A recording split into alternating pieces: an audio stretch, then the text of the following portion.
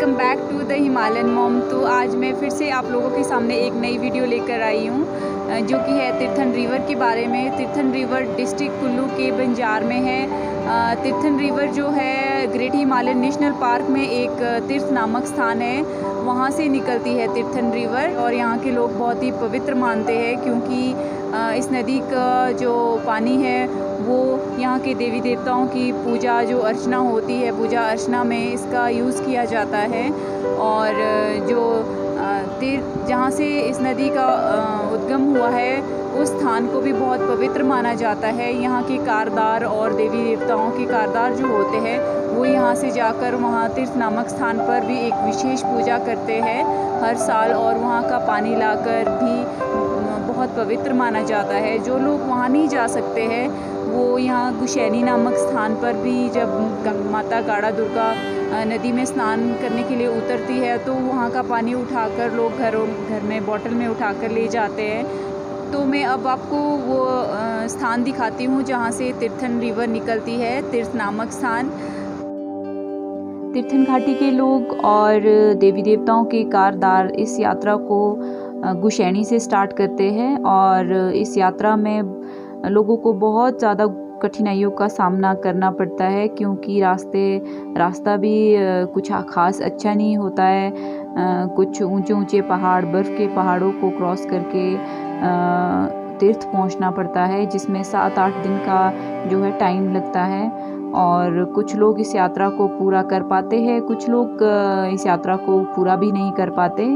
तो कुछ लोग जो है वो अपनी श्रद्धा और देवी देवताओं की शक्तियों के साथ इन, इस यात्रा को पूरा करते हैं। इस यात्रा में माता के रथ के साथ भी तीर्थ की यात्रा को किया जाता है, जिसमें कि माता गाड़ा दुर्गा के रथ को साथ लाके यहाँ पर पूजा की जाती है, जहाँ से तीर्थन रिवर जो है निकली है, वहाँ पे माता पानी में जाती है और यहाँ की यात्रा को पूरी करती है। तो यहाँ पे हंस कुंड है।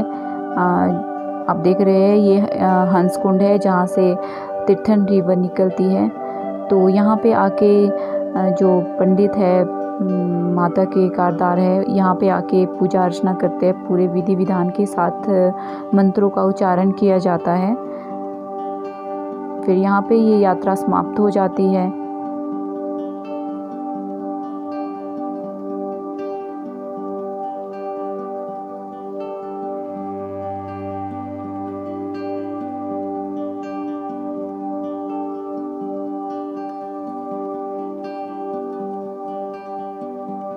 इस कुंड को बहुत ही पवित्र माना जाता है। यहाँ का पानी लाकर पूजा में विशेष पूजा में यूज़ होता है।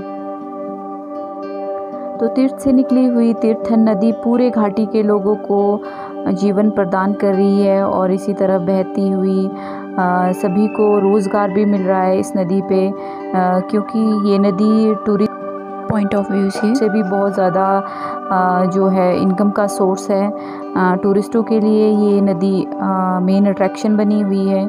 क्योंकि इस नदी पे काफ़ी ज़्यादा एक्टिविटी करवाई जाती है और जो कि आसपास के लोगों के लिए इनकम का सोर्स है। इस नदी की एक और ख़ास बात ये भी है कि इस नदी को औषधीय पानी भी कहा जाता है, क्योंकि ग्रेट हिमालयन नेशनल पार्क जो है वो जड़ी बूटियों का भंडार है, जहाँ पे कई प्रकार की जड़ी बूटियाँ मिलती है। तो तीर्थन नदी का सोर्स भी ग्रेट हिमालयन नेशनल पार्क ही है, जहाँ से ये निकलती है। तो इसीलिए इसको औषधीय पानी भी कहा जाता है। यहाँ के लोगों का मानना है कि इस नदी का जो पानी है, वो इसका सेवन करने से छोटे मोटे रोग जो है, वो ख़त्म हो जाते हैं। तो इसीलिए इसे औषधीय गुणों से भरपूर पानी भी कहा जाता है।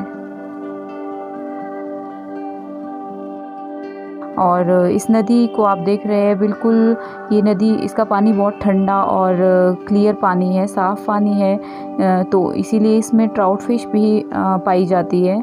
ट्राउट फ़िश जो है, ठंडे पानी में और ग्लेशियर वाले पानी में ही मिलती है। तो तिरथन नदी भी एक बहुत अच्छा सोर्स है ट्राउट फ़िश का।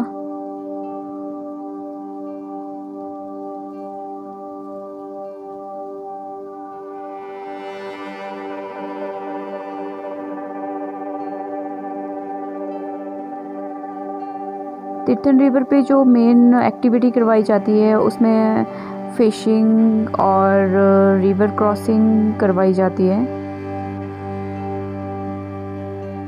और तीर्थन रिवर एकमात्र हिमाचल की ऐसी रिवर है जिस पे अभी तक कोई हाइड्रो प्रोजेक्ट नहीं है, जो कि बहुत अच्छी बात है।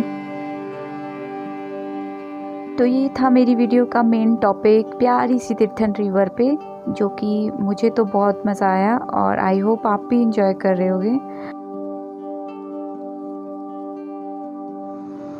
आई होप आपको ये मेरी वीडियो पसंद आई होगी तो लाइक करना ना भूलें और मेरी वीडियो को शेयर भी करना ना भूलें।